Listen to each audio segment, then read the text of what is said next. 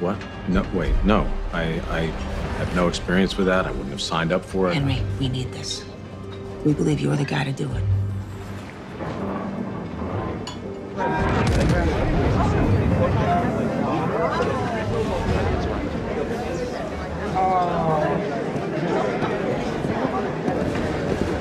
Elizabeth, It's nice to have you back, Mr. President. I wanted to thank you for minding the store. My pleasure. Well, not really that so much. I'm thrilled to relinquish the post. I saw your presidential pardon. I saw your national security advisor appointment. All right. I'll give you that. Erica James really did need to be released. Craig Sterling really is the right man for the job. Hmm.